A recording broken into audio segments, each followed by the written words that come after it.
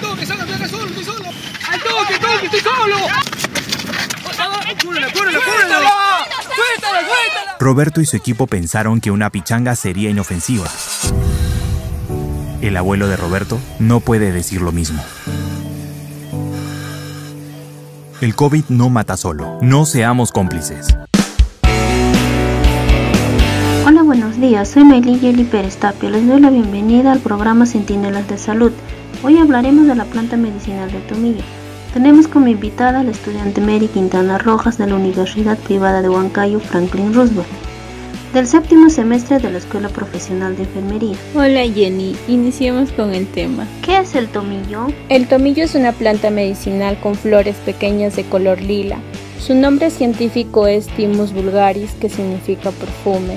¿Qué beneficios tiene la planta? Tiene propiedades para aliviar malestares respiratorios y digestivos, así como aliviar el dolor, ayudar a expulsar el moco, reducir la tos, calmar los calambres, ayudar a la digestión de la comida o indigestión, aliviar los cólicos menstruales, la acidez estomacal, la gastritis, eliminar parásitos intestinales, eliminar gases o facilita la eliminación de la orina. Actúan como desinfectantes, cicatrizantes y antisépticos.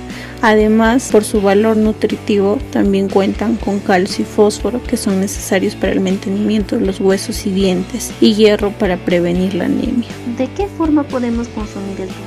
Las formas de uso y preparación son en infusión, que debemos colocar las hojas en una taza de agua hirviendo y dejarlo de 5 a 10 minutos después. Colamos y la ingerimos. En aceite esencial puedes encontrarla en la farmacia y se utiliza para realizar masajes en la piel o también como planta para aromatizar el ambiente. Se recomienda guardarlo en un lugar fresco y lejos de la luz. También sirve como hierba aromática en las comidas. Pueden ser en estofados, parrillas, escabeches, adobos. Puede usar la hoja seca o fresco. ¿Qué parte de la planta tomillo es usado?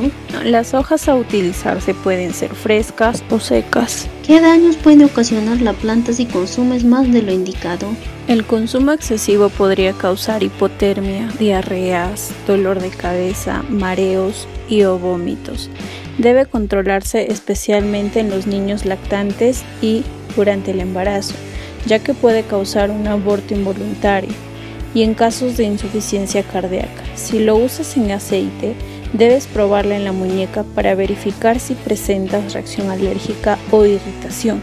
Si la zona donde aplico el aceite se torna rojiza o hay erupciones cutáneas, debes suspender su uso. Nos vemos en un próximo postcat. Saludos.